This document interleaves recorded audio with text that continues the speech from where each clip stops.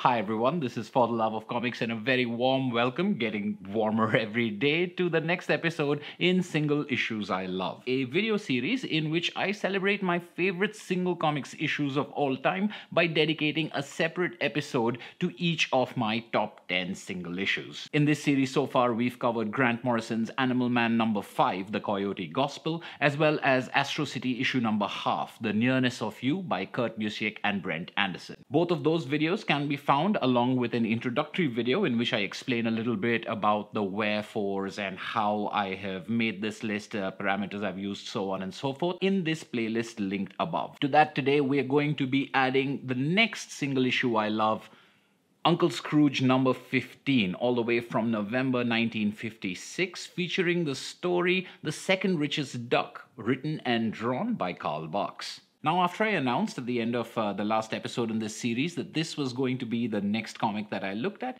I did get some questions from viewers, a couple of which uh, expressed some surprise that I would uh, pick a children's comic and that too from the 1950s to accompany what had been uh, modern, heady, intellectual, almost uh, superhero comics. And I kind of understand the puzzlement to a certain extent because there has been a history of children's comics being sort of flat and boring. I think this is particularly true for the more corporate branded library of properties like the ones with Disney, like the ones with Warner Brothers, Looney Tunes, Hanna-Barbera, so on and so forth. And I think people are justified in wondering how much quality there can actually be mined in something like this for adult readers in the 21st century. But there are two things I'd like to note, one specific and one more general. The specific one is that this comic is by Carl Barks, the creator creator of Uncle Scrooge. And Carl Barks was a genius. He was one of the finest storytellers in comics, irrespective of the genre or the audience that he was working for.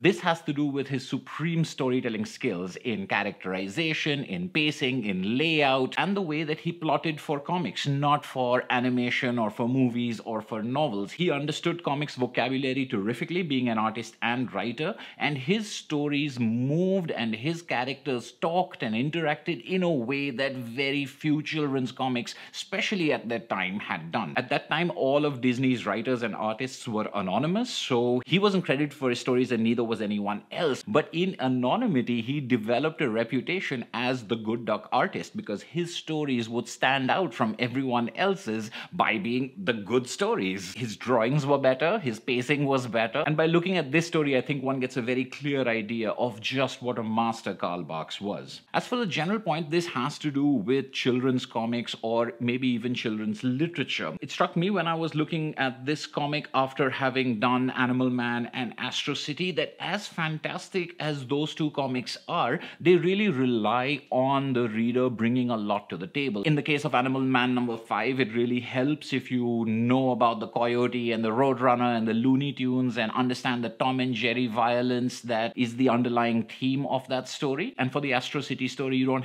have to, but it helps if you've got some understanding of crises and reality altering things that happen in superhero comics. Alongside those, there are other tropes of superheroes as well as comic storytelling that both of them have that even though we don't realize it, we're relying on to fill in a lot of stuff so that those particular comics can do the kind of exploration or the kind of deconstruction that they're interested in. Now, with children's comics and stories, you don't really have that license. Your reader readership does not have a vast reservoir of references and things that they can uh, rely on to help fill in things. You're not going to be able to create automatic sense of tragedy or automatic sense of comedy because your readers have not yet been trained in understanding punchlines or in understanding uh, relationships in a particular way. This means that when writing for children, you have to develop the entire context right there. You can't rely on having a biblical reference. You can't have something be seen as a Shakespearean thing you can't have any kind of reference other than to the story itself. You're not even sure what a child does or does not take for granted as having in their world. So every single aspect of the world, its rules and its logic has to be established right there in that work itself, which is tremendously difficult. Now, maybe because of that difficulty, instead of developing and creating a brand new thing from scratch and figuring it all out and how to put it across for a child, it's much easier, I think, for some people just to copy what has come before for it and create that sense of uh, assembly line factory made stuff. But there's still the potential in children's work to create brand new worlds and brand new literature without having references to other things in a way that other literature doesn't always have. And this is why I think that even in the 1950s, or even before that, like we saw with Winsor McCay in 1901 and 1902, it doesn't matter how long ago, if you had a great creator, if you had a great artist who understood the form and understood what it could do, they would be able to harness it. And that's what I think Barks did. I think he really captured the form and was able to use comics as a medium to do the kind of storytelling that he did so well. I had read once, I think, about Hans Christian Andersen in an introduction to his stories about how he wanted to make sure that a six year old could understand his story, so he would cut and cut and cut. He would edit and edit over and over again, removing everything that a six year old wouldn't understand. And then what he was left with, I think the introduction called it a writer's dream. It was pure form. There was nothing else. There was no cheating. There was no cliche. There was nothing to hide behind. And that's what Carl Barks is to me. He's the Hans Christian Andersen of comics because he's able to distill it down to pure form. And in looking at this story, I hope to highlight a couple of distinct ways that he does it. One is with the art, where he uses expressions and shapes, and in particular, mirroring to do a lot of very complex storytelling. And the second and most important one is how he makes the story purely character driven rather than plot driven. Almost every single thing that happens in this story happens because someone chooses it and they choose it because of the person they are. This focus on telling a children's story through complex art as well as deep characterization gives the second richest duck a completely modern, contemporaneous feeling. So that's the theory. Let's take a look at the story itself and see how it's borne out. The different parts that Carl Barks breaks the story up into start with the beginning in which Uncle Scrooge meets Donald who's on his way downtown to get himself an ice cream soda. Uncle Scrooge is aghast at the idea of Donald wasting his money on such frivolous things and scolds him, telling him that he should instead be investing this money. Donald insists that he is more interested in an ice cream soda. Uncle Scrooge tells Donald that he has never wasted anything in his life. He still owns the first dime he ever earned. It's still tied to him with string and then takes him on a tour of his giant vault and tells him about everything that he's accumulated. Donald is untouched by all of this, still wanting his ice cream soda, at which point of time um, Scrooge chases him away and then uh, walks off in anger and irritation at this nephew of his who won't um, see sense. So, what you have is in just these two pages, the characters of Scrooge and Donald being very firmly established, but the main themes of the story to come also being presented with superb economy. You've got not only Scrooge's thriftiness and insistence that Donald is a spendthrift, but Donald's uh, casual, laid back attitude towards money and being absolutely unfazed by this huge inventory um, that Scrooge presents to him. But we also get a very clear establishment of Scrooge himself. Even if you've never encountered Uncle Scrooge before or know nothing about this character, this is more than enough to quickly catch you up on exactly how rich he is, but also also the kind of miserly mentality that he has as far as hoarding and accumulating wealth is concerned. But beyond just establishing these characters, it also gets the ball rolling on the story, which in the second part is accelerated by Scrooge finding a couple of days old newspaper because he won't spring for a new one, which informs him that he is no longer the richest duck in the world, and that title is now held by um, a duck in South Africa called Flintheart Glomgold. This news at first devastates Scrooge, who is absolutely forlorn, but then he decides that he should check his accounts again and rushes to his accountant for a recent audit. He is thrilled to find that he has as much money as this upstart Johnny come lately fellow uh, who's been reported about in the newspapers and decides to book a passage on a ship to South Africa and go challenge Flint Flintheart Glomgold for the title of the richest duck in the world. Again, back to back, this is just two pages. So we've had two pages in which Scrooge, his fortune, his relationship with Donald, and their differing attitudes has been established, and another two pages to get the ball rolling on the actual central plot, which is Scrooge thinking he's lost his title of the richest duck in the world and going to challenge the contender. Next, we see Scrooge, Donald, and the three nephews Huey, Dewey, and Louie on a ship heading for South Africa. Scrooge has brought with him a full list of all his wealth and the giant ball of string that he has been collecting ever since he was young. Scrooge has asked his family to accompany him in case he loses, he'll need them to carry him back home. On the ship, they encounter another string collector whose string they accidentally try to add to Uncle Scrooge's ball, and then they arrive in South Africa and make their way to the Glomgold estate, which seems to be an exact copy of Scrooge McDuck's estate. So the first two pages with Scrooge showing Donald all his wealth in his vault is now mirrored in South Africa, except you know with a pound sign instead of the dollar sign standing in. But this is for the readers establishing this fact that this is an equal to Scrooge. Inside, they find that Flintheart Glomgold is none other than the other string collector on that ship with whom Scrooge has already had an unpleasant run in. They start comparing notes and find themselves tied in almost every single way. This escalates into physical violence. They have to be separated by Donald and the nephews, and then they're tied up chairs to keep arguing without hurting each other. They keep arguing through the night. Donald and the nephews fall asleep. They wake up the next morning to find that Scrooge and Flintheart Glomgold are still tied. Every single aspect of their fortune matches exactly. The only thing that could make a difference are their collections of string. So it's a convenient thing that Scrooge has brought his ball of string. They decide that they're going to unroll their respective balls of string across the heart of Africa to see who has the most string, and that's going to determine who the richest duck in the world is. Now begins the next part of the story, which is them unrolling these balls of string across Africa. Scrooge obviously has Donald and Huey, Dewey, and Louie to help him. Flint Flintheart is all by himself, which makes him fall behind. He's exhausted at the end of the day. Scrooge offers to make him a cup of coffee, and we think everyone's being nice to each other. While Scrooge has actually drugged Flint Flintheart to keep him from cheating at night, Flint Flintheart has advised Scrooge to keep his ball of string on an anthill. So the ants destroy part of the string, and in the morning, Flint Flintheart takes off and Scrooge discovers that Flintheart has poured syrup on his ball of string, and now Scrooge has far less string than Flintheart does. But the race continues. Scrooge ignores Flintheart's next piece of advice. He's obviously suspicious, but Flintheart fools Scrooge again, and by now, Scrooge's ball of string is far smaller than Flintheart's is. However, the next night brings locusts, and the next morning, there's a grass fire with a stampede, both of which affect Flintheart a lot worse than it does affect Scrooge. Scrooge's ball by this time is so small that he can just hide it in his hat.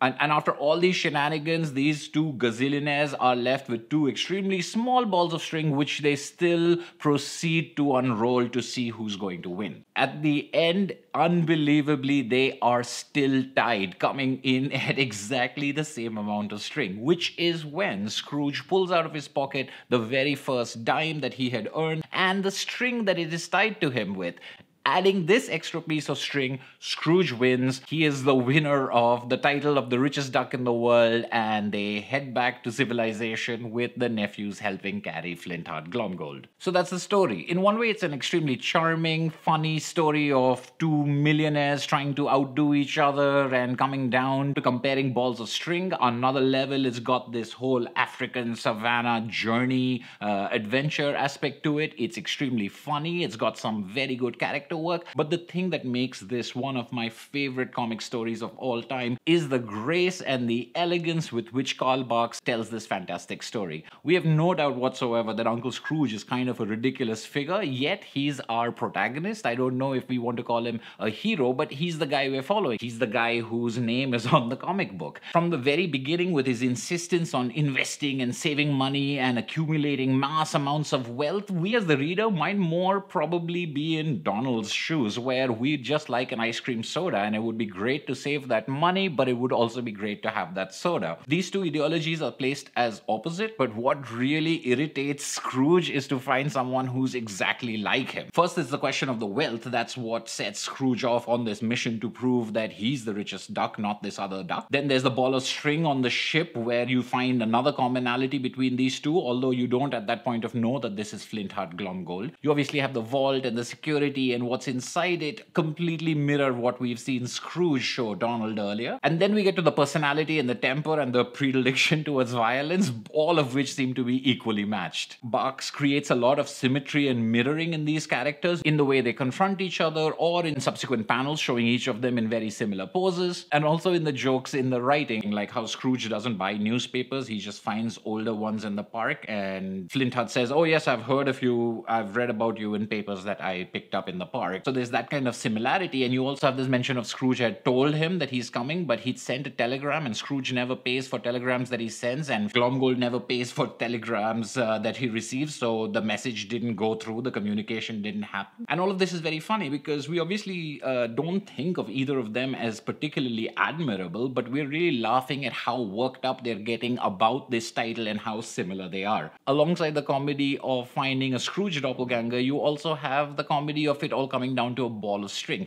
Irrespective of how much gold or diamond or the mines or the oil and all of these other things that are part of their huge inventory, uh, irrespective of all of those things, it comes down to string. And at the end of the day, it comes down to the first piece of string that Scrooge had ever collected, the beginning of his collection, the thing that was tying his first 10 cents to him. So, in spite of the whole thing sounding like a competition of wealth, it actually comes down to the most insignificant or the most meaningless things unless it's autobiography. And there are other kinds of readings you can take from it as well, where Scrooge wins because he has family, although his family never really takes his side more than Flintheart's. Uh, Donald and the nephew seem equally exasperated. Uh, they seem to think these two deserve each other, and they're just along for the ride to make sure nobody gets hurt, and their sympathies are sort of equally distributed instead, in spite of the family relationship. All of this is why I think it's quite a modern and contemporary comic. You're not told who to root for, you're not told this is the hero and this is the person who should win. You're not given a lesson. There's no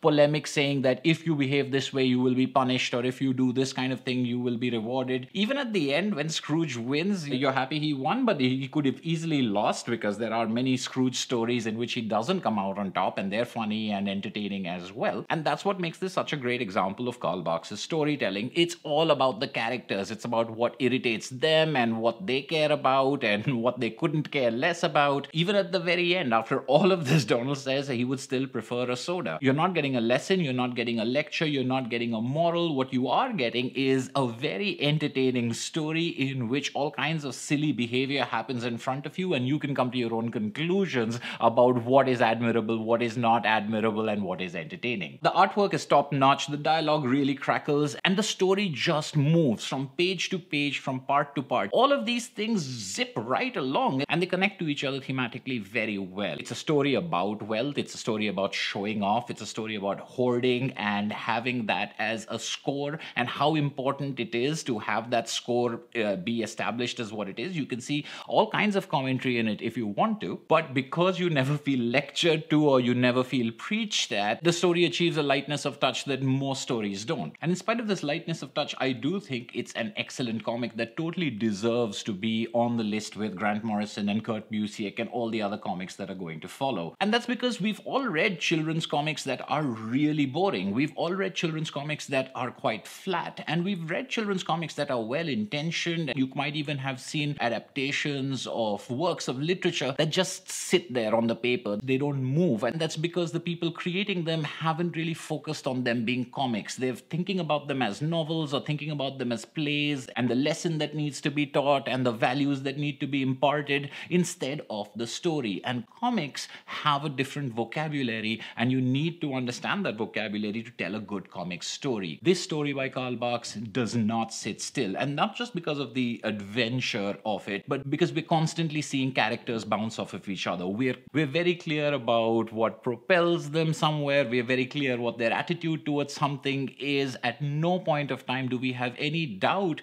about what someone is thinking, whether or not we agree with it, whether or not we find it admirable. It's so clear and so unique that it creates distinct characters for us, and that's what allows their performance as fully fleshed out characters to be truly entertaining rather than being that stodgy stick in the mud children's storytelling. Uncle Scrooge number 15 has been one of my favorite comics for a very long time. I read it originally as a young child, but I read it with many other comics that when I revisited later just didn't hold up. Some of them um, for older readers. But this story has, in my opinion, not only held up, but gotten better with time. It works really well for a child because that's what Barks, like Hans Christian Andersen, did. He boiled it down to what the essence of the story is. But as adults, we can appreciate the craft that went into this because there's seamless to a child. It just happens as if it's by magic. But as an adult, you can see why. You can see why the care taken as far as character, as far as plotting, as far as dynamism is concerned, had such a fantastic payoff that even decades later, I have no compunction whatsoever against putting this on my personal list of favorite comics of all time. I hope you enjoyed this video. I do want to do more on Carl Barks and his Uncle Scrooge and Donald Duck stories. Maybe I'll attempt that once I have a few more volumes of those Fantagraphics books. I hope you enjoyed this video. Leave me a like to let me know. This has been For the Love of Comics. Thank you as always for watching and I'll see you at the next video.